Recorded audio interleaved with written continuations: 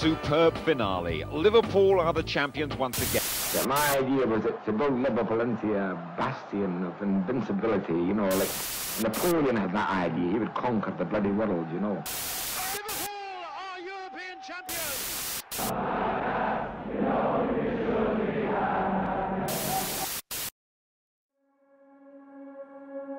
Here's a story about a football team.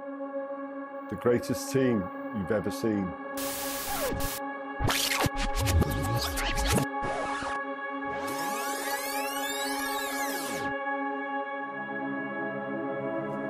old calf looks the same as I look down at the game. And there's that old green turf that Liddell used to play on. Now St John and Hunt and Peter Thompson score the goals when Shankly wants them. It's good to see the greatest team at home. Liverpool is a religion, and Anfield is our place of worship.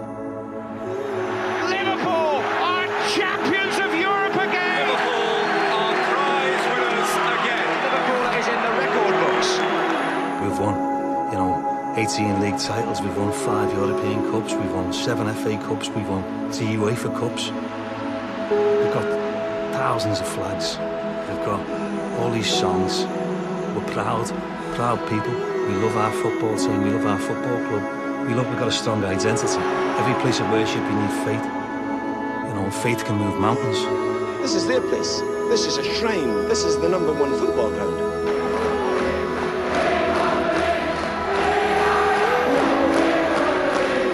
Right, enjoy this, lad. And when you've got a manager with a vision, and he believes in that vision, and the players believe in the vision, and then the fans get passionate about the vision, that's when you all move forward together, like a crusade, like a Red Army, like we've done in the past. And this could be the start of another Red Crusade.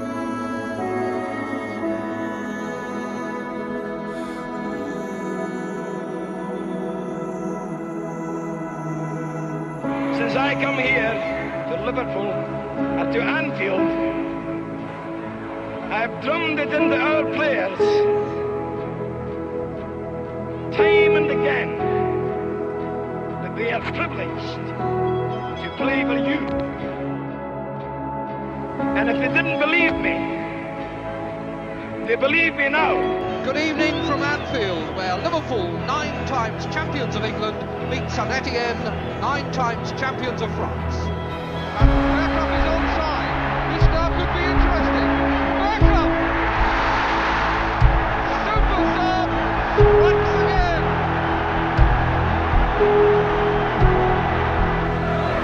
And now the salute for the champions and for Bill Shankly, who takes off his jacket to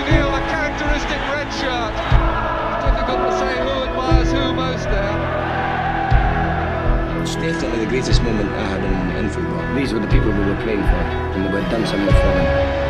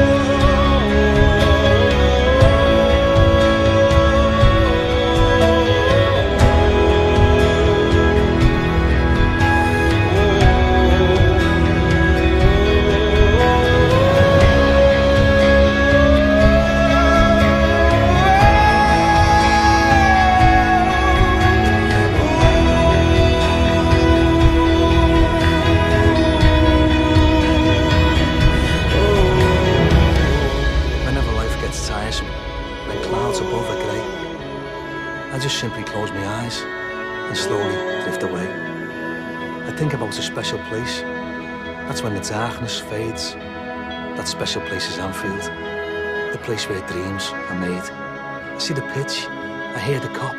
I taste the atmosphere. Flags, banners, songs of old, which echo down the years. Colours entwine, red and white, with grass of emerald green. A beautiful vision, a sacred place. So many special memories, elation, joy, cheers, passion, glory, victory, ecstasy, emotion, laced with tears.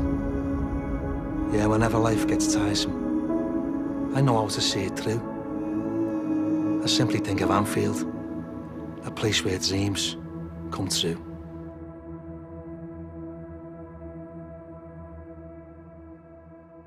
It's like, like a dream like a dream uh, to stay here in one of the best uh, league of the world and in one of the best uh, football clubs of the world. One or two of the youngsters on the clock will have had to hear